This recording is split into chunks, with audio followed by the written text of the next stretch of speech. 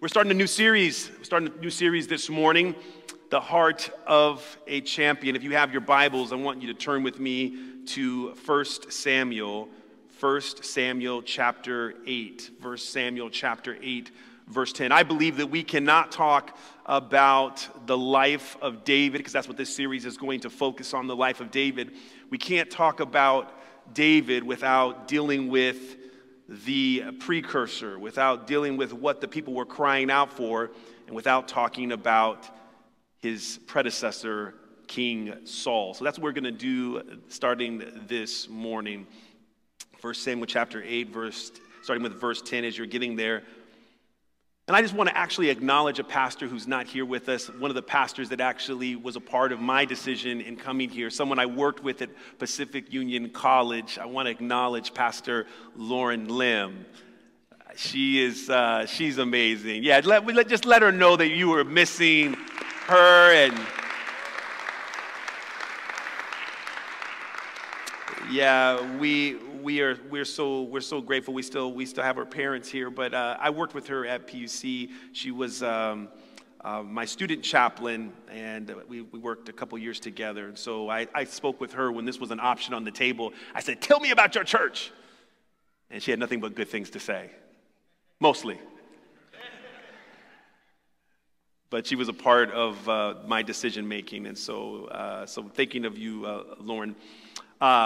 Uh, 1 Samuel chapter 8, starting with verse 10, the word of God says Samuel told all the words of the Lord to the people, asking him for a king. He said, This is what the king who will reign over you will claim as his rights. He will take your sons and make them serve with his chariots and horses. He will run in front of his chariots. They will run in front of his chariots. Some he will assign to be commanders of thousands and commanders of fifties, and others to plow his ground and reap his harvest, and still others to make weapons of war and equipment for his chariots.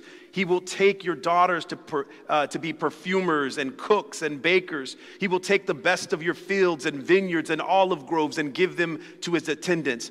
He will take a tenth of your grain and of your vintage and give it to his officials and attendants.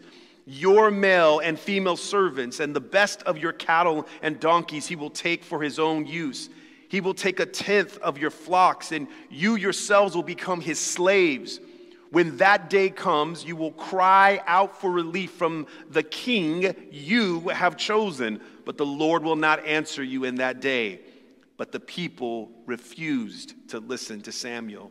No, they said, we want a king over us. Then we will be like all the other nations, with a king to lead us and to go out before us and fight our battles. Let us pray. Father, we thank you so much for the invitation to be in your presence this morning as we open our hearts and our minds to you. Father, we're asking for you to just reveal yourself.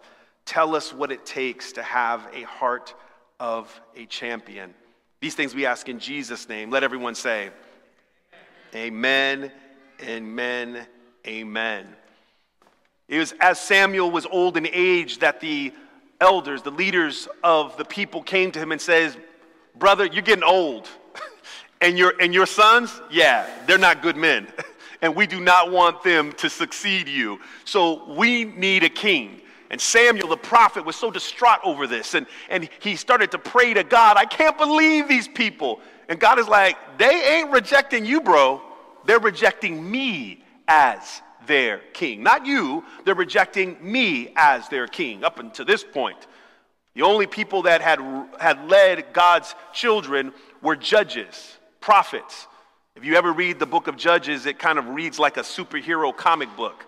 It's like the Avengers or Justice League. I call it Judges League. That's kind of corny, but that's what I call it but a bunch of superhero figures like the Incredible Hulk, I mean Samson, uh, that when he gets angry, the Spirit of God comes over him. He has super strength, and, and heroes uh, like Deborah and, and also Gideon. And so, so Samuel is the last of these prophets slash judges. He's the last. The people now want a, a, a new change. They want, they want a, a transfer of power. They want to have a king like all the other nations. Because let's just keep it real. We like to worship people. Can I just be honest with you? We just like to worship people. I mean, God is cool and all, but we love worshiping people. We love idolizing people. We, we want to follow them on our social media. We want to dress like them, talk like them, uh, uh, uh, sing like them. We, we, we love hero worship, and the children of Israel were no different. We want a king over us. And Samuel passes along a message that God had given him. He said, If you have a king, I just want you to know he's going to make you all his slaves. Okay, we, we're good.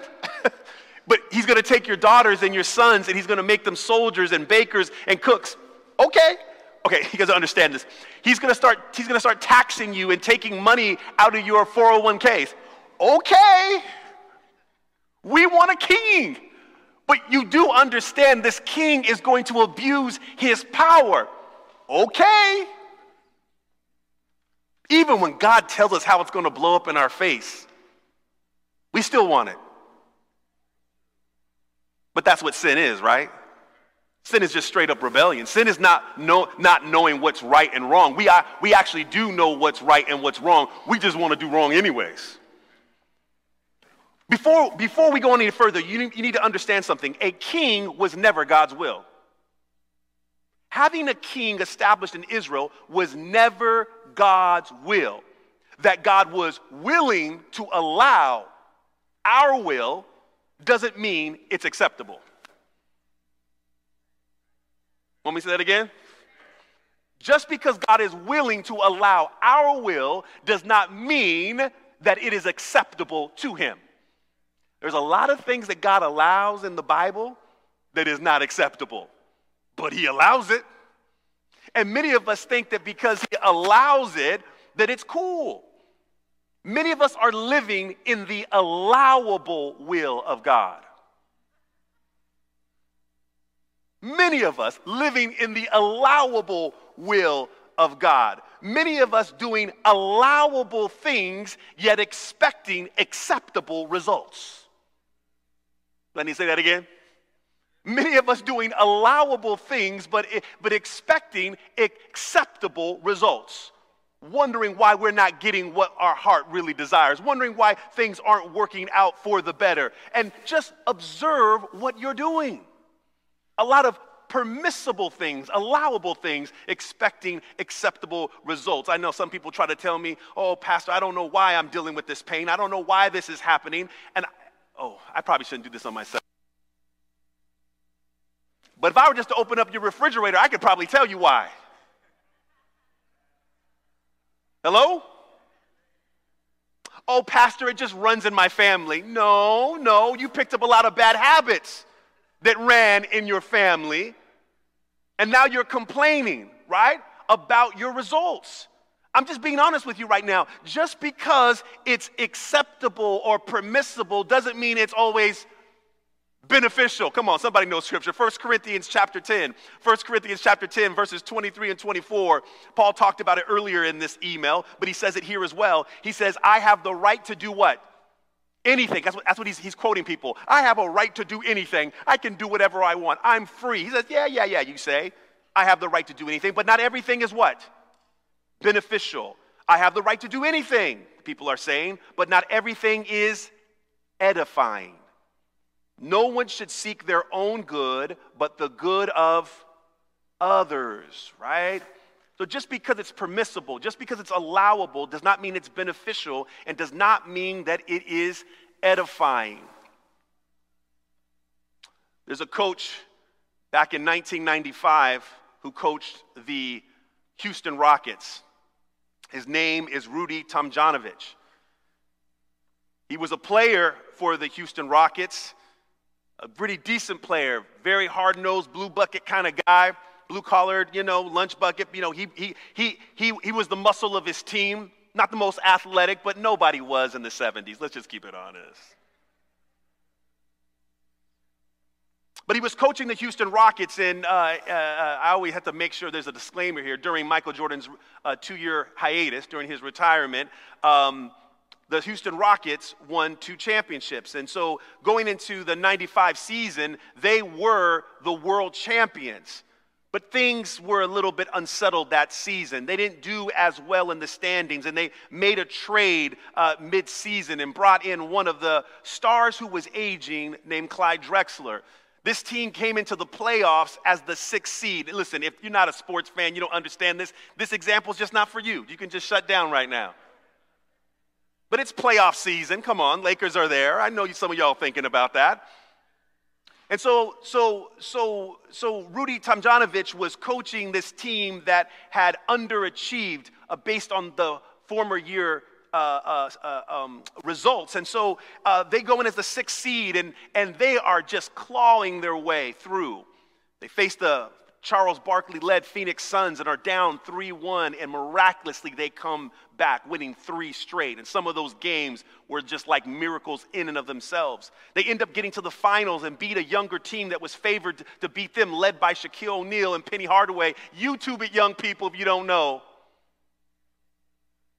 And they win, and, and he's been interviewed after sweeping the Orlando Magic. As he's being interviewed, he, he says this that sounds like it originated with him, but I, I know it, it didn't. And there's other books that have been written that have used this title. But he says, Don't ever underestimate the heart of a champion.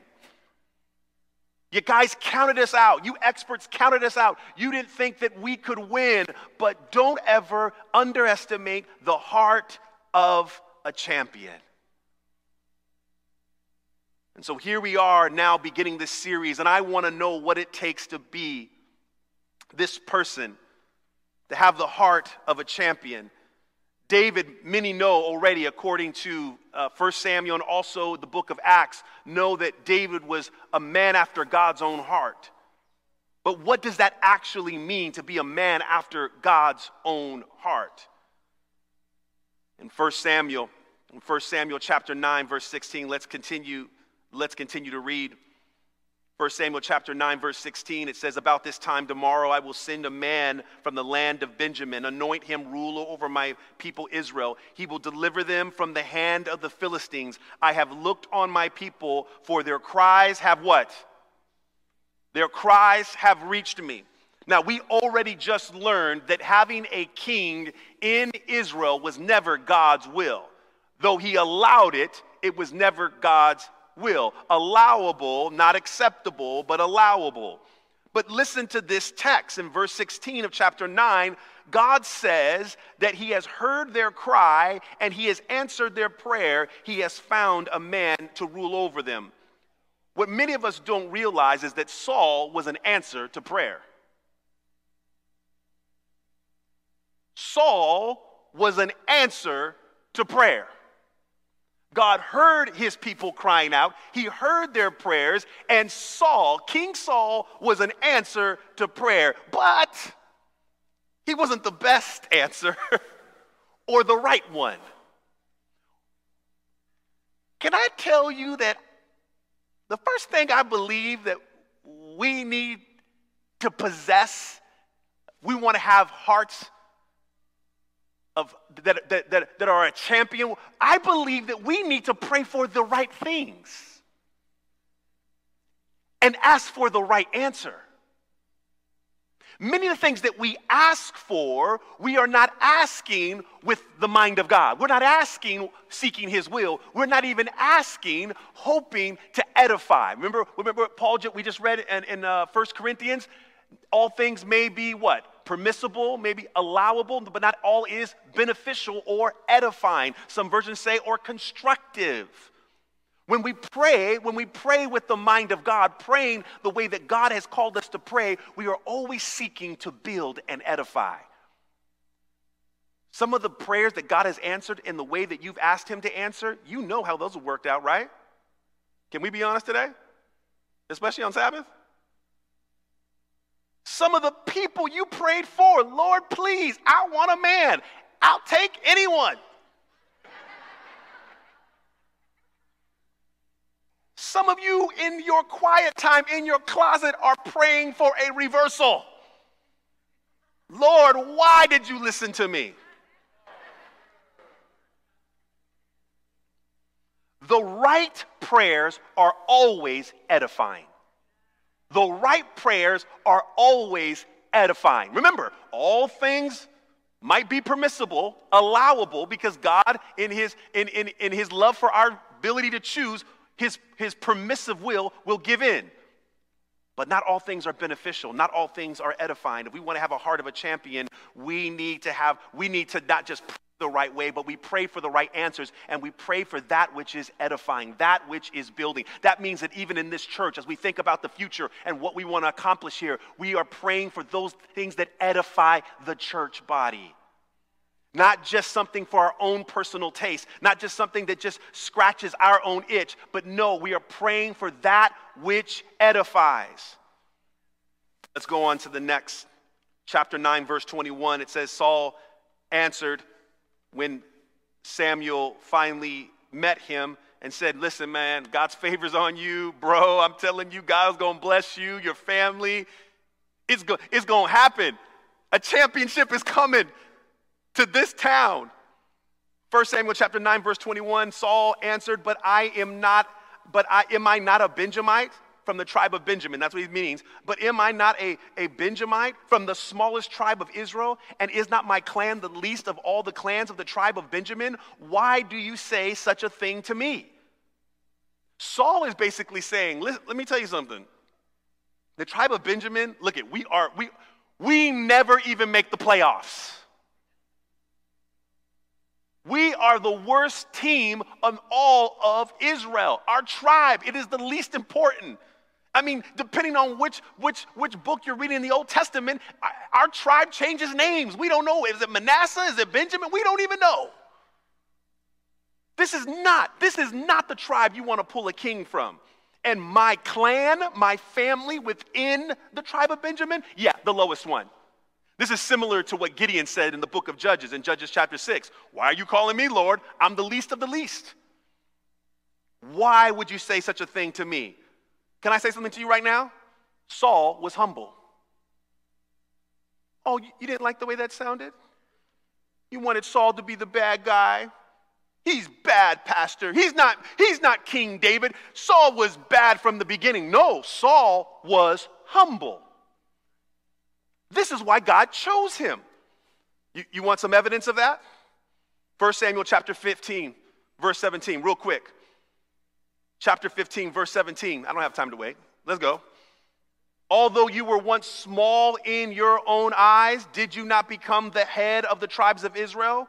The Lord anointed you king over Israel. He says, Were you not small in your own eyes? This was in the future when he was speaking to, uh, to Saul. Look at, look at chapter 10. When he actually calls Saul forward, they cast lots and they call Saul forward, making this an official thing before all of the children of Israel.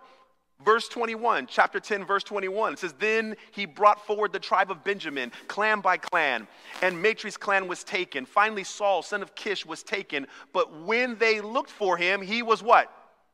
not to be found. So they inquired further of the Lord, Has the man come here yet? And the Lord said, Yes, he has hidden himself among the supplies. This, this man was so humble, so lowly in his own eyes, that he, he tried to hide when they were calling his name to be king. He was hiding. Saul was a very humble man, but he was placed in a position where his humility would be obliterated. No matter how humble he was, God knew that being placed in a position that he did not ordain and that he did not want for his people, he knew what it would do. Would they say absolute power does what? Corrupt? Absolutely. God understands our human nature, our fallen nature, and that is why there are certain positions He doesn't want us in, including David. Including David. Saul was a humble man, but he was placed in a position where his humility would be obliterated. It's often not enough to just have the character to face any situation. And I believe that Saul did. I believe that God called Saul because he had the right character. Are, are you hearing me? Saul was the best Israel had to offer. Yes, he came from a family of good standing. Yes, his family had wealth, but even by Saul's own admission, listen, we from the tribe of Benjamin, even our wealth compared to any of the other tribes, it's minuscule. He was a man of good character. The Bible does say he stood really tall, a head taller than everyone else. Yeah, he had good height on him. But it was the character of Saul that, that God wanted. He wanted the humility because God was like, I already know what this, this kingship is going to do to his head and heart. So I need, to, I need somebody who's right here, who's humble enough that can handle these responsibilities. So it's not, it's not enough to have the character to face any situation. Watch this. We must have enough character to know when the situation itself shouldn't be faced. I'm gonna say that one again because this, this, this one actually probably is tweetable. it's often not enough to just have the character to face any situation. We must have enough character to know when the situation itself shouldn't be faced. This is why it's important, and Christ says we should pray this way that lead us not unto what? Not all of us can handle these situations. Some of y'all can't handle being wealthy. I'm sorry. So you shouldn't pray for wealth because some of y'all couldn't handle it. Some of you cannot handle power. So you probably should not go for that, that, that upgrade. You probably shouldn't be promoted at work. Some of us cannot handle certain situations, no matter how kind and loving you are. I'm telling you, there are certain situations we are not designed for. When God, we'll read it, we'll read this later on. When God said that David was a man after his own heart, David was a shepherd, not a king. Are you hearing me? David was a shepherd and not a king. And this is going to be the point of this series. We're going to unpack these things because to have a heart of a champion, we have to go deep. So some of us need to pray to, to avoid certain situations. Many of you think you're good comparing yourself to other people and go, I would never behave the way that she did in college. Ugh. But some of you, oh, I'm going to get in trouble. This is something that Pastor Mark might say. Some of you didn't have the looks to be in the same trouble.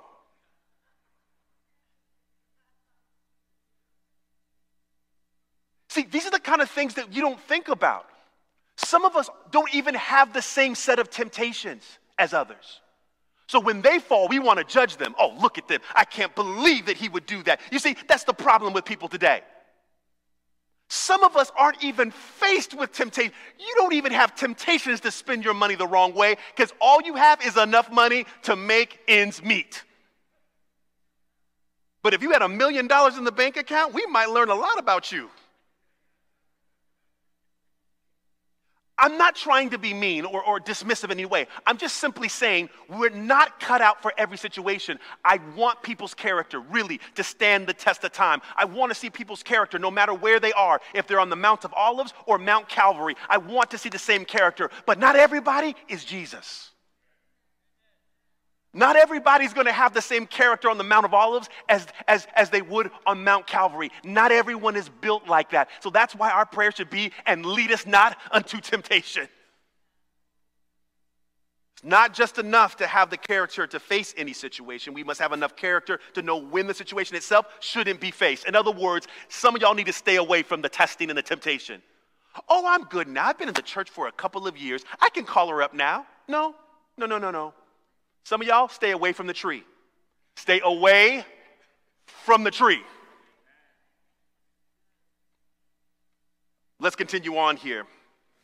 1 Samuel chapter 10, verses 5, starting with verse 5 says, After that, you will go to Gibeah of God where there is a Philistine outpost. As you approach the town, you will meet a procession of prophets coming down from the high place with lyres and timbrels and pipes and harps being played before them, and they will be prophesying.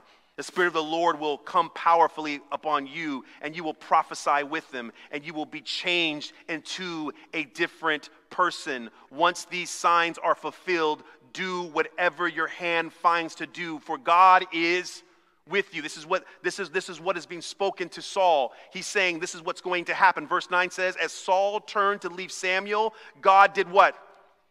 Changed Saul's heart, and all these signs were fulfilled that day. Oh, that's a good word. The humble man of Saul, the humble man Saul, was prophesied over that he would encounter a group of prophets with musicians. And let me tell you something some of these prophets, they got down with music. I'm sorry, fam. Later on in David's life, these, some of these prophets were losing their clothes as they were singing and worshiping. I don't want to see that kind of worship up in here. I'm just saying, some stuff just needs to stay in the Old Testament. But, but Saul got caught up in the spirit and was worshiping, and people started asking, Has Saul become a prophet? Ooh, look at that. Look at Saul. Not just a king, but a, but a, but a prophet as well. And the Bible says that God changed his heart, transformed. See, this is the problem. Many of us, because we know how Saul's story ends, at least we think we know, we like to gloss over these situations and say, oh, he was just bad from, he was a bad seed from the beginning. Oh, God just chose a king that Israel wanted, but God knew all along. Stop it. Stop. That's not what the Bible says. Stop it. That's not what Scripture says. God anointed him, God called him, and God's Spirit came upon him, and God's Spirit changed his heart. Saul, at this moment, is a good man. But I got to say something to you change is reversible. Change is reversible. A lot of times we think that just because God has changed our heart, that that is a permanent change. Saul had a changed heart, but changed hearts aren't permanent. They can be, but not by default. They must remain changed. This is why John 15 is so important when Jesus says, Remain in me, and I will what? Remain in you. This is why Paul says he dies daily this is why we're, we're called to crucify the flesh. The decision to be a follower of Jesus is a decision we make every single day. And for some of us, we make it every single hour. Well, there's some out there making it every minute, but I'm just saying.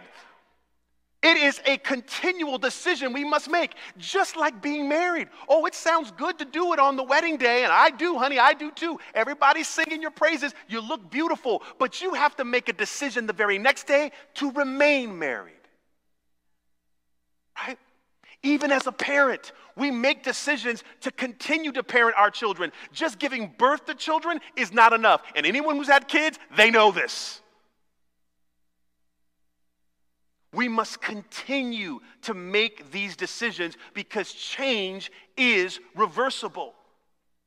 And how do we know this? 1 Samuel chapter 15, verse 11 says this. This is God saying to, to, to, uh, uh, to Samuel, I regret, I regret that I have made Saul king because he has done what? He has turned away from me and has not carried out my instructions. Samuel was angry and he cried out to the Lord all that night. What did God say? He regretted. He regretted that he had made Saul king. Wow.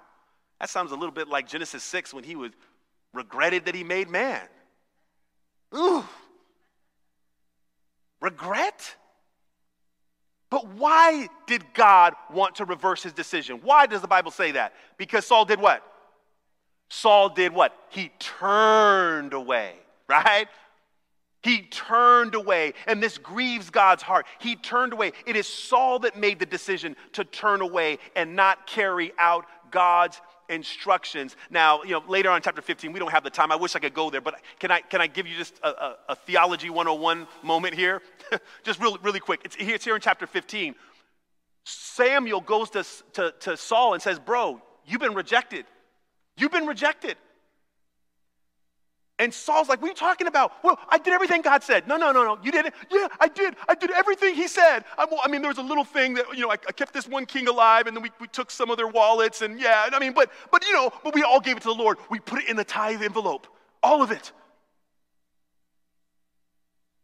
And Samuel had to keep saying, Bro, are you, are, are you playing games with me right now? No, you did not follow God's instructions, and you've been doing this for a minute. And I'm telling you right now, you're done. The kingdom is going to be torn apart. You are being removed.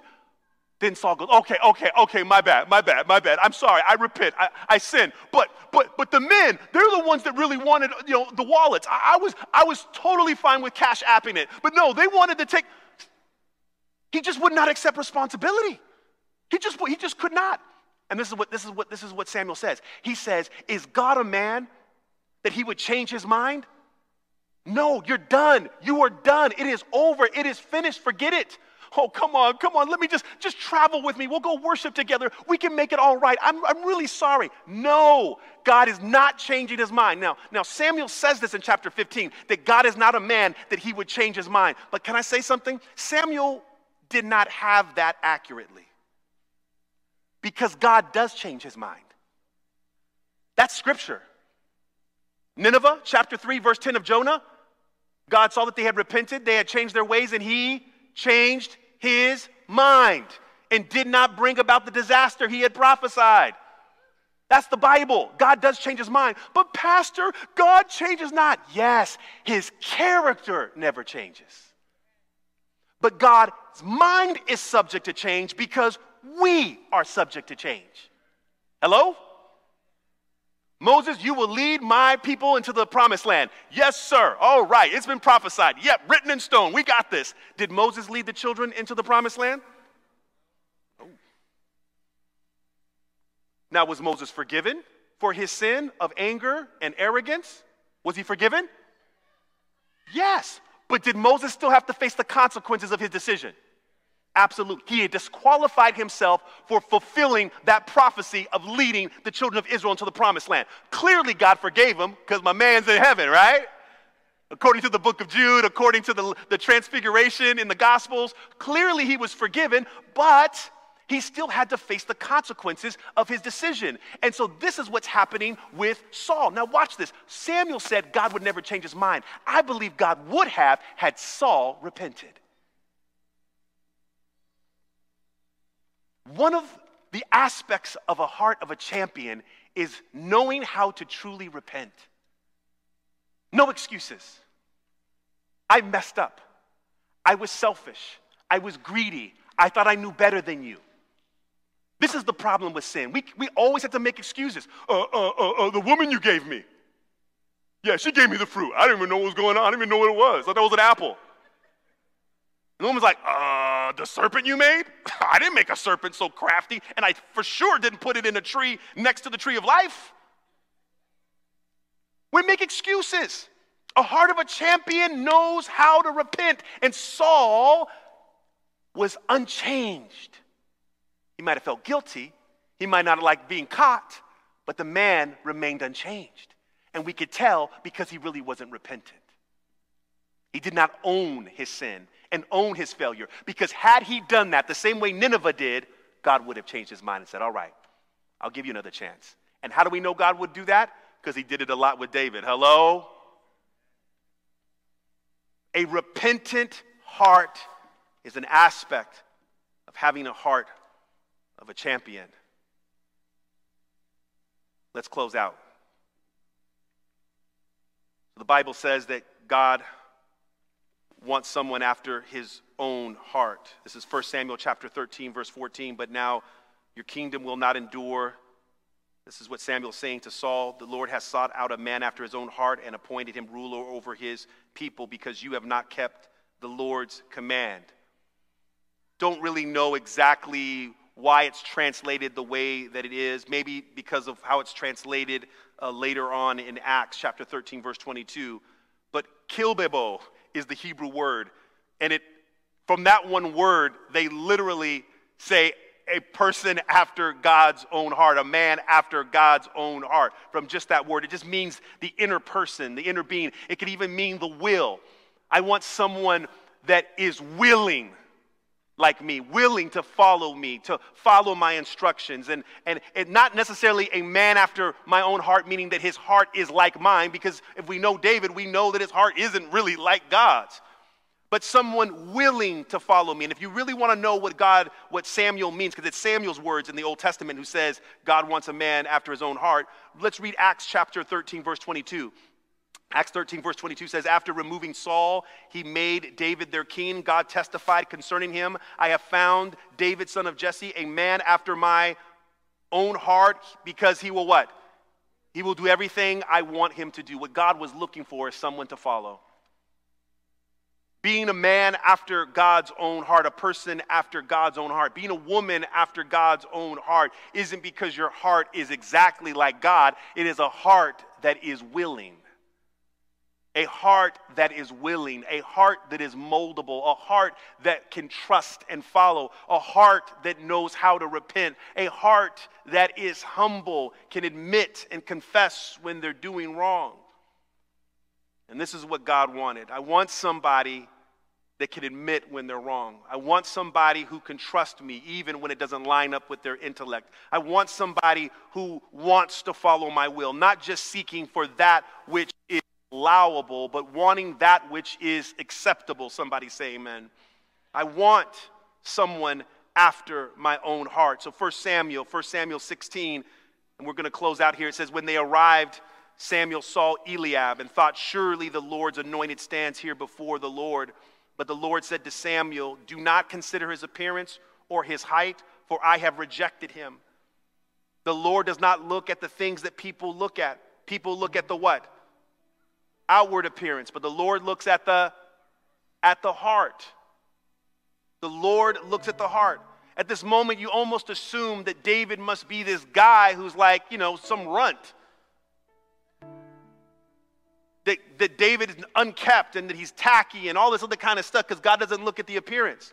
But watch this, verse 12. So he sent for him and had him brought in, and he was glowing with what?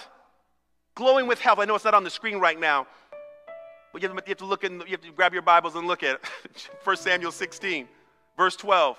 1 Samuel 16, verse 12 says, So he sent for him and had him brought in. He was glowing with health and had a fine appearance and handsome features. My man was fine. Glowing with health.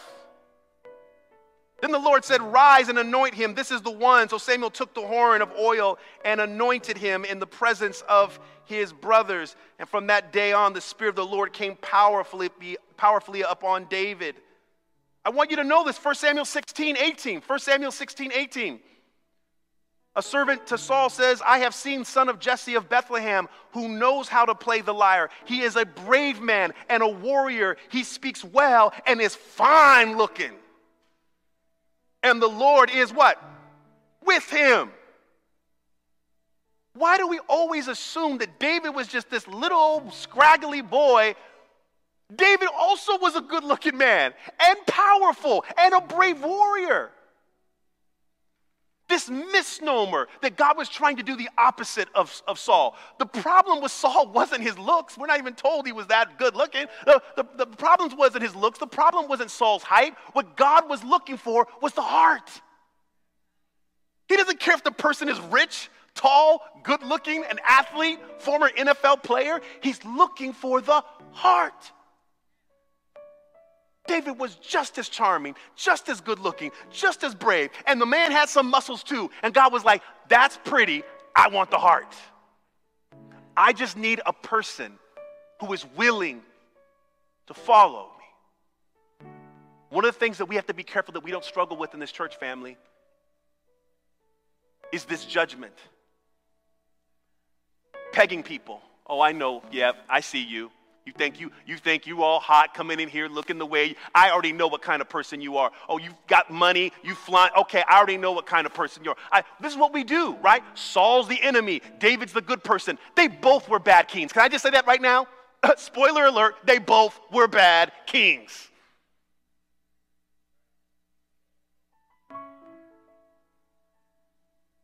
God didn't reject Saul because of his looks. Saul was no longer teachable. He didn't want to follow. And at this point, God's hands are tied. He knows that Saul's going to do more damage. Saul ruled for 42 years. He wasn't that bad. Hello? He ruled for 42 years, longer than some of the judges in the book of Judges. He wasn't that bad. Stop judging people just because their ending was a little murky and a little muddy. Stop it. Saul, God loved. And there was nothing about Saul's condition that God was like, oh, I can't, I can't, there's no way I can ever forgive him. Because remember, Moses was disqualified from leading the people into the promised land, but Moses was still forgiven. Amen?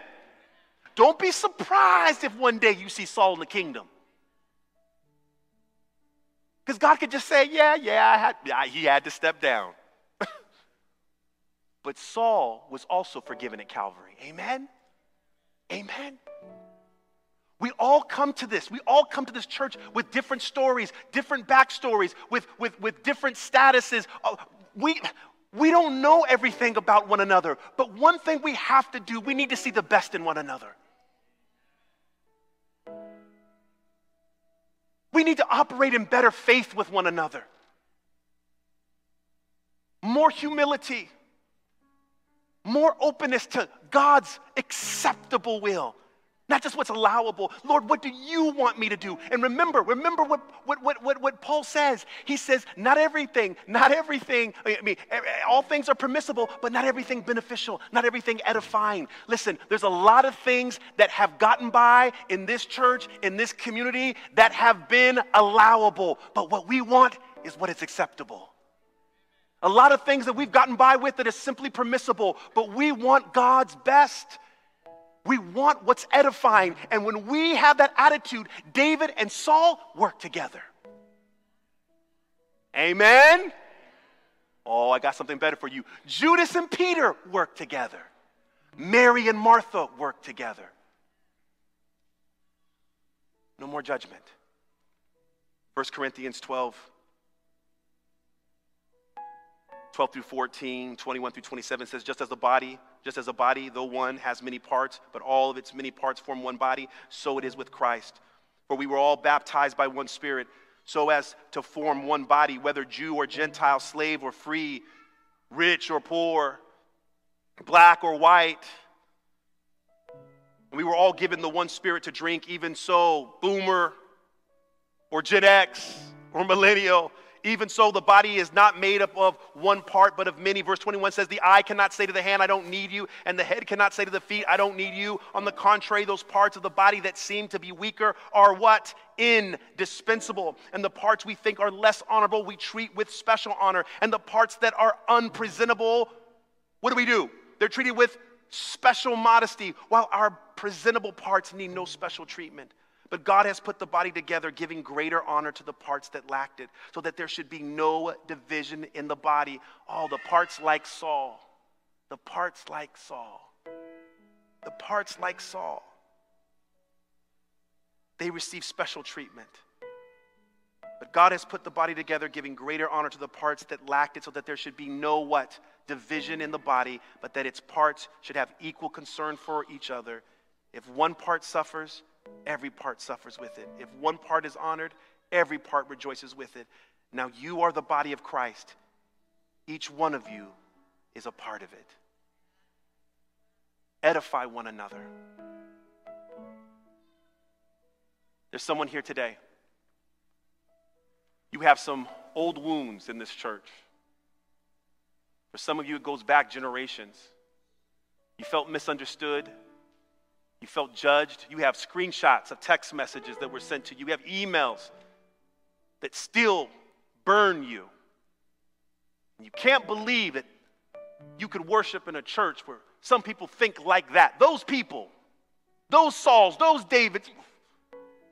Pastor, they're the Pharisees. No, Pastor, they're the tax collectors. Stop it.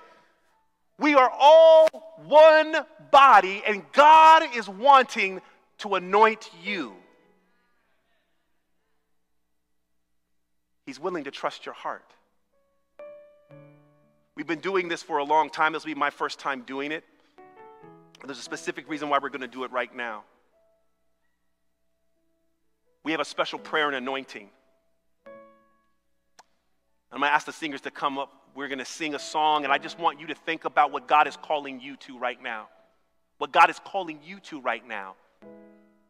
You're Saul, you're David, you have this quality, you have that quality. I don't, at this moment, it's between you and the Lord right now. All I know is that the Holy Spirit has been working on you, and you no longer want to deal with just the permissible. You're not just trying to go for the allowable. You want what is acceptable. You want what God wants at this point. Your heart is repentant. There are, there are relationships that need to be mended, bridges that need to be built.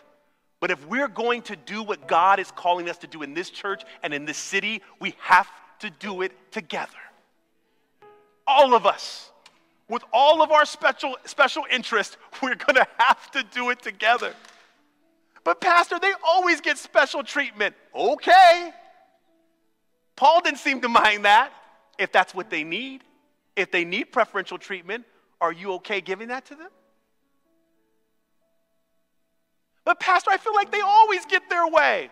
It's okay. Let God's will be done. Are you willing for that? Father, thank you so much for what you did here this morning, going into the afternoon.